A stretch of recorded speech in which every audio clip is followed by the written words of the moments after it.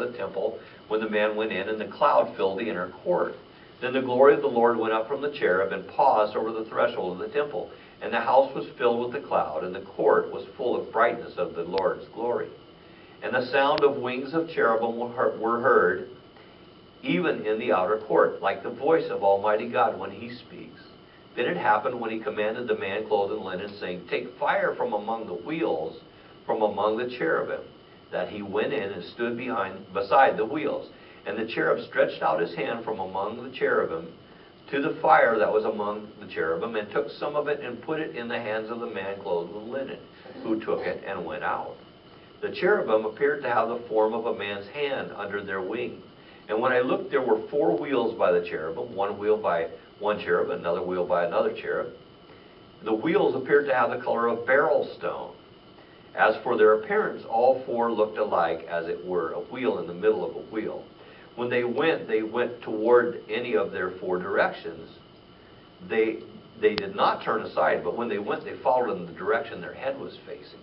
They did not turn aside as they went, and their whole body, with their back, their hands, their wings, and the four and the wheels that the four had were full of eyes all around.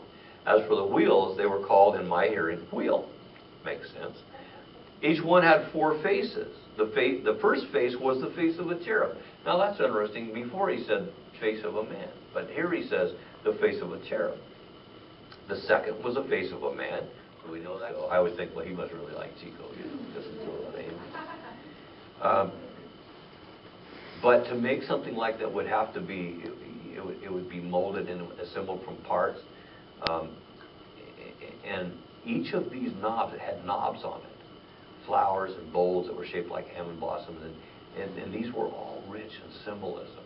And of course, we'll discuss exactly what each of them, a little teaser there, and we'll discuss what each of them represents in later studies.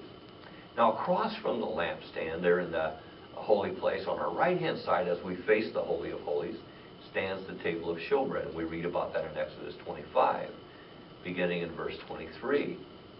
God says, You shall also make a table of acacia wood.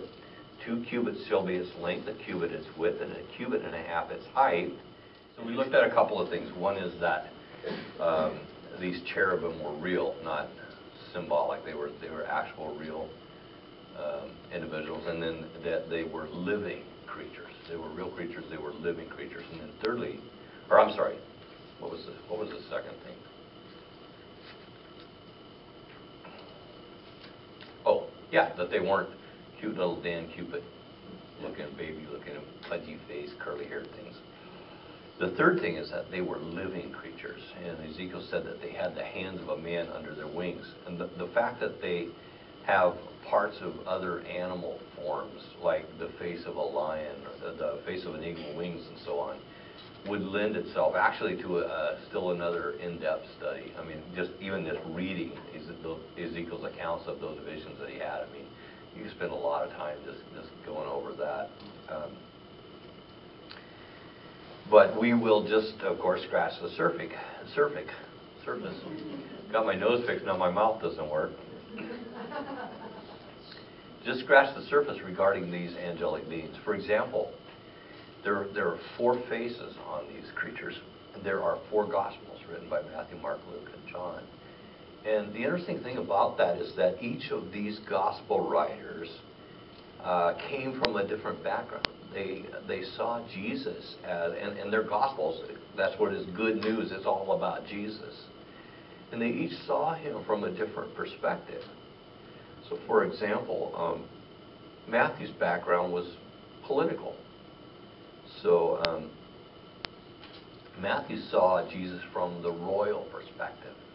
He saw him as the King of Kings and the Lord of Lords.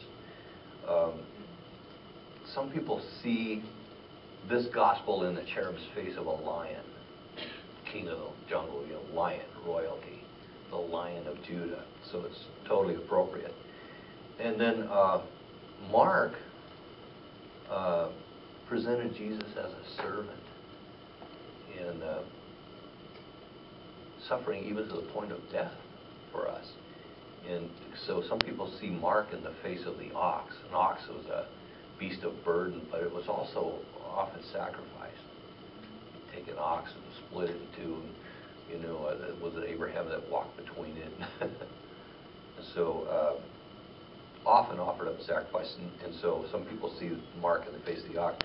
Luke was a physician, so he saw the humanity of Christ. He saw that he was man's perfect God and God's perfect man. He saw him as the Son of Man. He referred to Jesus as the Son of Man, as the sinless one, the perfect and righteous one.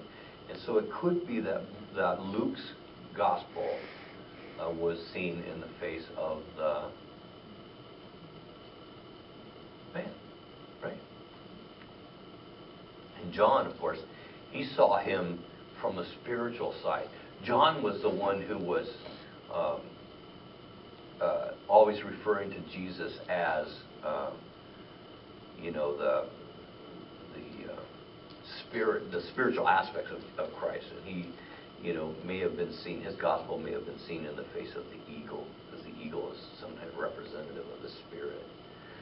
And so the fourth thing that we see about cherubim, or can learn from cherubim, is uh, their position in the tabernacle is above the throne, because we'll see later on that the, the lid of the of the mercy seat was was beaten out of one solid piece of gold, and part of its orn, ornation was these two cherubim that were part of it and kind of came together, bent over the thing like almost like a handle or a lid uh, lid handle or grip to, to raise the thing off of the of the Ark of the Covenant and that sort of thing. And so we see him before the throne and in the very presence of God, above the throne and in God's presence.